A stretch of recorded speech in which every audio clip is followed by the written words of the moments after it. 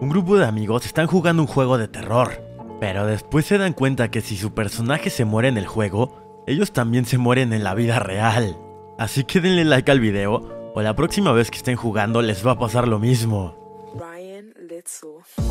En Stay Alive nos van a contestar una pregunta que siempre nos hemos hecho a todos los que jugamos videojuegos. ¿Qué pasaría si estás jugando un videojuego y te mueres, pero que también te mueras en la vida real de la misma forma en la que te moriste en el juego? Bueno, esto pasa en Stay Alive, y la verdad, como es una película del 2006, los gráficos del juego no están padres, están muy feos. La historia sí es entretenida, pero es de estas películas que solo la puedes ver una vez en la vida mientras estás aburrido o algo así, pero también no la puedes volver a ver nunca más porque si no sí te va a aburrir mucho. Otra cosa interesante que tiene es que sale Malcolm, una cara conocida. Y además de eso ya no hay nada. Es lo único interesante de esta película. También recuerden que ya casi llegamos a 5 millones. Así que para los que no están suscritos se pueden ir a suscribir aquí abajo y activar la campanita. Y para el especial de los 5 millones, comenten qué video les gustaría ver. O sea, un video especial, no un resumen. Y ahora sí ya los dejo con Stay Alive. Estamos en el juego en una casa embrujada.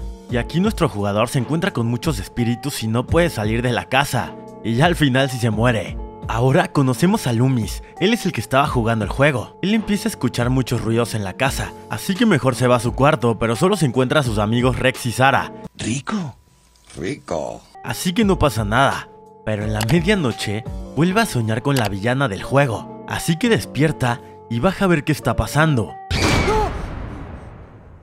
Después se da cuenta que nada es real, así que se tranquiliza y regresa a su cuarto, pero en ese momento, esa madre empieza a perseguirlo, así que se va toda hostia al cuarto de Rex y solo los encuentra muertos. Aquí, esa madre lo ata con una cuerda y lo empuja por las escaleras, y se muere de la misma forma que su personaje en el juego. En otro lado conocemos a Hutch y a su jefe Miller. Él le pide ayuda en el juego para poder pasar el nivel, pero en ese momento le llaman para avisarle que su amigo acaba de morir, así que va a su funeral. Ahí conoce a Abigail, y también conoce a la hermana de Loomis. Ella le da un portafolio con todos los videojuegos de su hermano para que se los quede como recuerdo. Y Abigail también le da su número por si algún día le necesita hablar. Más tarde, Hutch va un café para hablar con sus amigos. Phineas y Octubre. Ahí sacan el juego Stay Alive. Y Hutch les cuenta que Loomis lo estaba jugando en su versión de prueba ya que todavía no lo están vendiendo. Y ya al final todos se convencen de terminar el juego para conmemorar a Loomis. Más tarde conocemos a Malcolm. Él fue a la casa de Hutch para preparar todo. Y también llegan los demás para por fin probar el juego. Aquí Abigail les toma fotos y Miller se conecta desde su oficina. Ahora sí el juego empieza y todo es con la plegaria de Elizabeth. Así que todos la leen y se sorprenden porque el juego empieza cuando terminan. En ese momento, una voz brutal les empieza a leer la leyenda de hace 200 años, cuando la condesa Elizabeth inauguró una escuela para mujeres en la hacienda Girouge.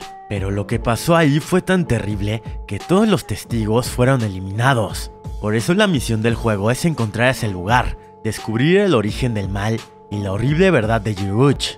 Pero para eso tienen que sobrevivir. Ahora sí empiezan a jugar, y primero deben matar a una niña zombie que les deja una rosa para alejar a los espíritus. Todo va bien durante unos minutos, pero Miller se le separa en medio de la pelea y los demás encuentran el diario de la condesa Elizabeth. Lo malo es que Miller termina en una sala de tortura y es apuñalado por la condesa sin poder hacer nada. Y sí, se muere. Después todos ya se cansaron de jugar, así que se despiden. Pero en ese momento, Miller empieza a sentir una presencia extraña en el edificio, así que revisa su oficina y se da cuenta que su joystick está vibrando. Y cuando se levanta... Al día siguiente, Hodge llega a la oficina y encuentra toda la policía. Allí empiezan a interrogarlo porque él fue de las últimas personas con las que estaba jugando su amigo. Así que los detectives empiezan a sospechar de él, pero el detective T-Box le deja su número por cualquier cosa. Más tarde, todos se reúnen, y aquí Phineas se da cuenta que la muerte de Miller es igual a lo que le pasó en el juego. Pero como solo le parece una extraña coincidencia, decide seguir jugando. Del otro lado, Hutch va a hablar con sus amigas, y él les cuenta que el fuego le da miedo, ya que le recuerda la muerte de sus papás porque murieron en un incendio. También hablan de lo extraño que está haciendo todo esto, ya que Loomis y sus amigos también habían jugado el juego una noche antes de morir. Entonces se van a toda hostia a buscar a Phineas para advertirle que debe de dejar de jugar.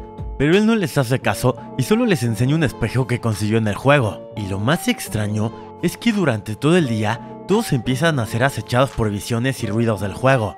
Así que Hodge está seguro que algo extraño les está pasando. Entonces él empieza a investigar sobre las víctimas y encuentra muchas cosas parecidas en todos los casos con cosas del juego. Al día siguiente se reúnen y les cuenta que todas las víctimas han muerto exactamente como lo hacen en el juego. Así que aquí Octubre les revela que la leyenda que le contaba su abuela sobre la condesa es igual a la misión de Giruch. Y todo el escenario del juego está tomado de su antigua mansión, ya que sí existió. Y lo peor es que cada detalle está tomado de la vida real. Elizabeth era una persona loca, perseguía a sus víctimas en un carruaje negro, las destripaba con tijeras de plata y mandaba romper los espejos porque no soportaba ver cómo envejecía. Así que como castigo le enterraron viva en la pared de su torre, y sus últimas palabras antes de morir fueron que algún día iba a volver. Obviamente, Hodge no le cree y la toma como loca. Al mismo tiempo, Phineas tiene una visión del juego y hace que choque en su carro. También los demás le llaman para que vaya con ellos, pero en ese momento empieza a escuchar ruidos de un carruaje y termina siendo atropellado por uno. Más tarde, sus amigos lo encuentran en la carretera y se dan cuenta que había muerto en el juego. Hodge trata de explicarlo a los detectives, pero eso solo hace que sospechen más de él. Ahora, mientras uno de ellos habla con Hodge, el otro detective empieza a jugar para demostrar lo ilógico que es todo. Pero después ve que acaba de morir torturado y se va a detener al detective. En otro lado, Octubre está llorando por la muerte de su hermano, y mientras hablan, todos deciden investigar sobre el juego para detener al responsable de los crímenes. También este detective salió a buscar información del juego, pero no encontró nada, y cuando entra a su carro, Ahora Hutch va con Abigail a la casa de Loomis para investigar, y él le cuenta que Loomis era su mejor amigo ya que su familia era lo único que tenía. O sea, el papá de Hutch se volvió loco y quemó la casa. Esto hizo que se quedara huérfano, con una cicatriz y con odio al fuego. Así que la familia de Loomis lo acogió durante muchos años. Era como parte de la familia. Y ya mejor se van a recorrer la casa y van al cuarto de Loomis. Allí encuentran su celular con la dirección de la compañía que hizo el juego. Así que llaman a los demás para que vayan. Aquí Octubre les revela que para detener a Elizabeth deben clavarle tres clavos en el corazón, cuello y la frente. Esto va a hacer que el espíritu regrese a su cuerpo. En otro lado ya encontraron al detective muerto y así que la policía empieza a perseguirlos porque son los principales sospechosos. ya valieron madres.